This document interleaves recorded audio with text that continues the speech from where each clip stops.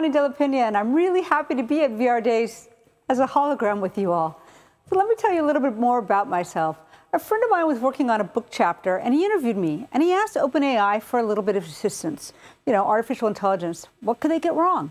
And so he asked about my awards, and it said I won the MacArthur Genius Award, which gives you five years at $150,000 a year to do whatever you want.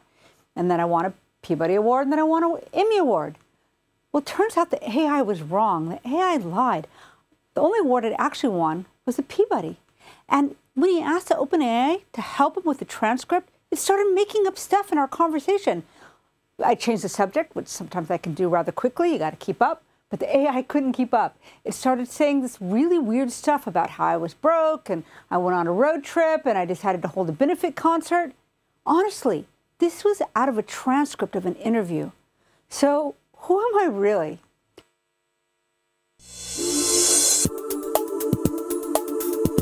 The real VR pioneer, Nonny de la Peña.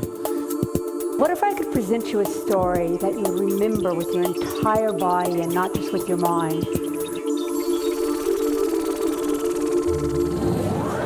So what'd you think? Oh, you're crying. With VR, virtual reality, I can put you on scene in the middle of the story. You get this whole body sensation. There's a bunch of cops here. They're like standing around, something's going on. Oh, right here. Ah, that's not cool. On the other side of a fence, there's all these people just like kicking and beating. We can have what I call this duality of presence, a real feeling as if you are in the middle of something that you normally see on TV news. I started applying all these ideas to what I named immersive journalism. And we all know being there is the most important part of understanding almost anything that's happening. Along in a partnership with America's premier investigative documentary series, Frontline, who had incredible access on solitary confinement cells. What that is, is photogrammetry. And it's exact photographs of a cell you are walking around the exact cell, the exact footprint. You are in the room. This works so well for putting people on scene at real stories. So then what? You got to put the people in there. How do you do that? I can now put you in the room with somebody who is videotaped in volume. You can literally walk around them in a volumetric way. Emblematic is among the world's leading producers of virtual and augmented reality, with more than 10 years of experience. We create innovative, high impact, immersive media, ranging from emotionally powerful stories for media companies, brands, and global culture, to OTT solutions for world class partners in business to business virtual reality distribution. Let your audience experience your message in a deeply powerful and intimate experience. Don't just tell your story, live it.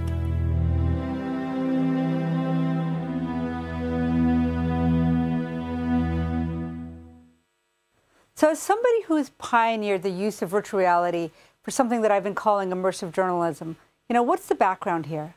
Well, Martha Gellhorn called what we journalists do the view from the ground, right? And uh, I was a correspondent for Newsweek.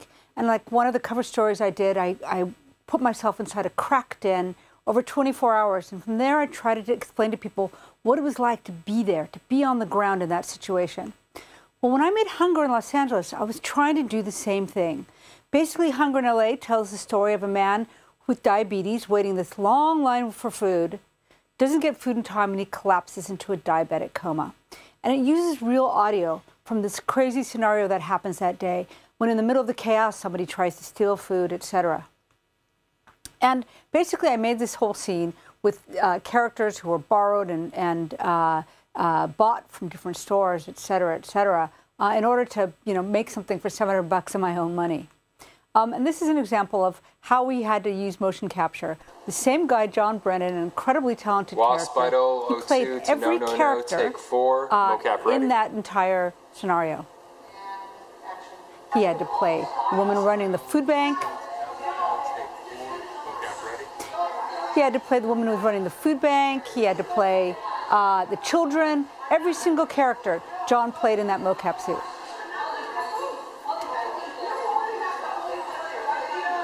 We had the mocap stage overnight, and that was when we had to do the entire piece. And of course, that got into the Sundance Film Festival in 2012. And uh, when we showed up there, we only had this one crazy set of headset, the Wide 5. It was $50,000 a pair. And the head of the lab basically said, you can't take that with you. So um, we had to make headsets, and that's me working with uh, the team. And uh, the black dots on the screen there are, you know, where are the pupils? Where should your eyes be? And I have a skinny head, and that dude had a big fat head. And we showed up with these crazy 3D printed goggles. But opening night uh, was extraordinary. We really didn't know how people were going to react, and yet, like, it was examples like this.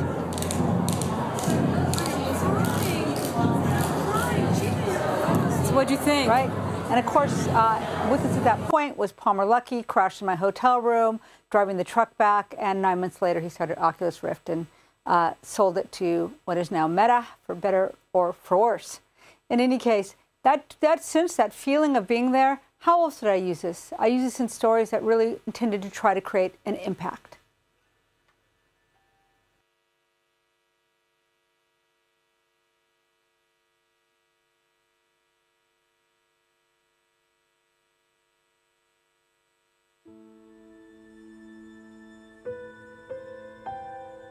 40% of homeless youth come from the LGBTQ community because they've been thrown out from their homes due to their sexual orientation. After I gave my talk at TED Women, the actress Sara Ramirez approached me and she really wanted to make this piece about homelessness in the LGBTQ community. In collaboration with the True Colors Fund, I was lucky enough to begin working with them on finding the right material to tell the story. We ended up using the audio of Daniel Pierce who was thrown up by his own family, and he happened to record the terrible confrontation that ensues. Oh, get off of me! What's wrong with you? You're Bring it! queer, you What's wrong with you? So by putting the audience in the middle of this physical moment, you know, using the motion capture, putting on digital characters, and then making it life-size so it happens all around you, it's so startling. Suddenly, this thing you've heard, which is disturbing enough, um, and maybe you've watched videos of this type of scene, but if it's there and you feel physically vulnerable, you connect to Daniel and to what he's going through in a way that um, I don't think any other medium affords. It, it, it is a really significant and powerful moment to be there with Daniel when, when he's that vulnerable, when he's surrounded by people who hate him just for being who he is. You're twisting my words. You are You complete- twist everybody's You are a completely different person. Let me tell you something, you little piece of shit. But we also use new technologies, uh, something called volumetric capture, which is with a company called 8i, in which we film from every direction around a person, and it creates a hologram. And we use that moment, that technology, as kind of a postscript to offer messages of, messages of hope, to be able to uh, give people some ideas of, you know, how you can get to the other side.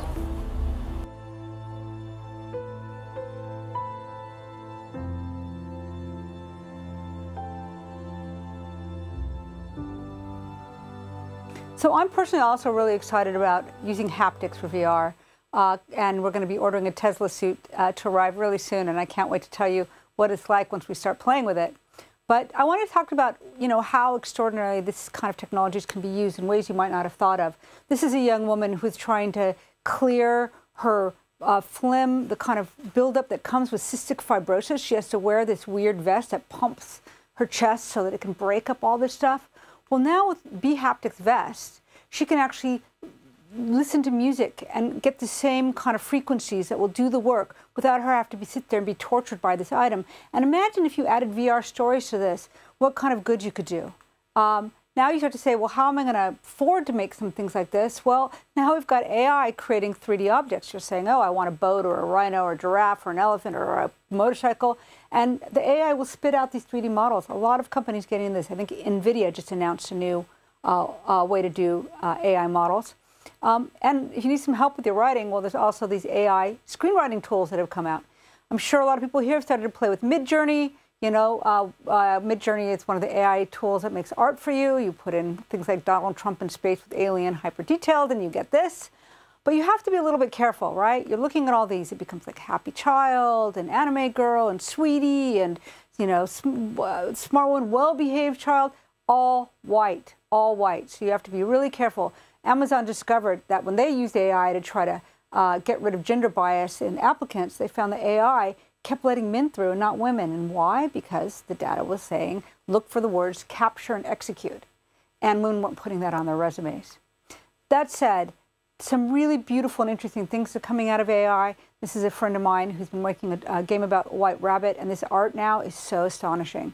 Similarly, people were designing characters and then asking the AI to put the characters in different environments so that they can start to actually storyboard out really beautiful spaces.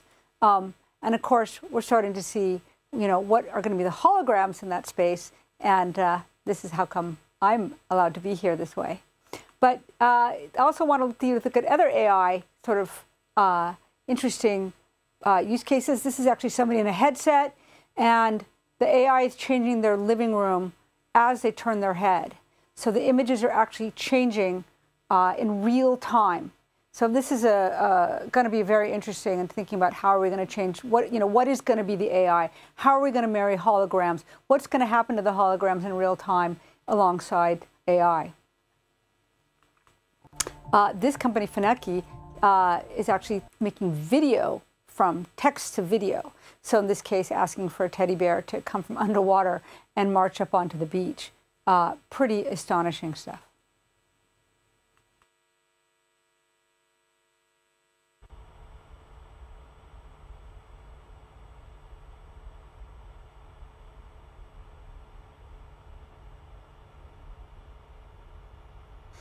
So as we know, making real-time technology is hard. I've lived through this. So I've tried to make something, a tool, that can make it easier for anybody to start to create. And that's why I designed Reach.love. You can take a look at try.reach.love. You can sign up. This is probably my first time I've announced it publicly. So I'm really excited to say, please sign up and test it and report bugs for me, okay? Try.reach.love. So what is it? It's a SaaS authoring tool that lets anybody create stuff and then publish it just like YouTube, right? It's button based, it's WebXR, and you don't have to actually know how to code. Um, and you, when you publish it, you can either just send somebody a link or you can literally embed it just like a YouTube video. And then people can move through the space, right? Headset optional.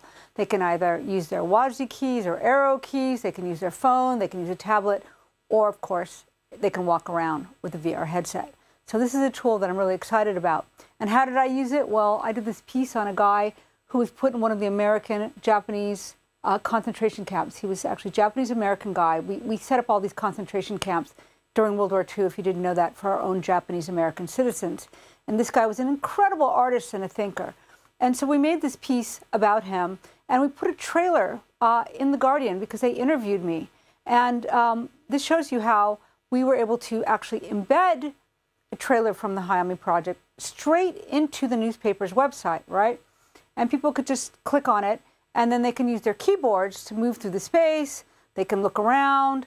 Um, and that you're doing right there is a photogrammetry of an actual barracks where um, Stanley and his family had to live in this tiny little space, right? And then, of course, if you hit the VR button, you're going to be able to walk around with full uh, immersion in a headset, right? So that's a, and uh, by the way, this got 45,000 views in just uh, two days. So I've been scanning lots of stuff, um, and I want to tell you about my latest uh, endeavor at ASU.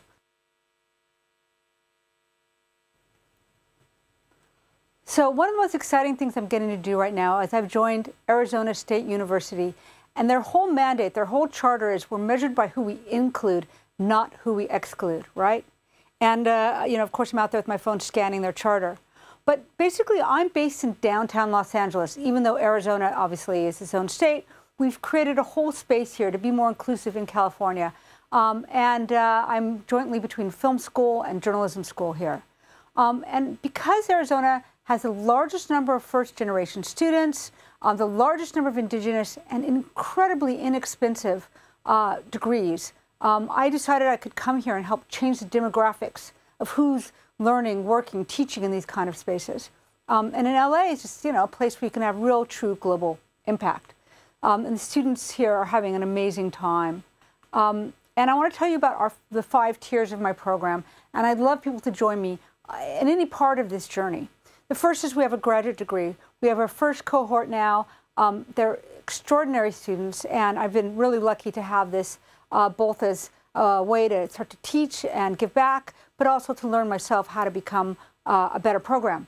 Secondly, uh, we uh, are having a lab, what I call a institute for the body, and the idea that we privilege the body. We think about embodiment uh, throughout research and, and, and what we construct. We're also working on a haptics lab. How can we let people feel stories as much as see and hear them?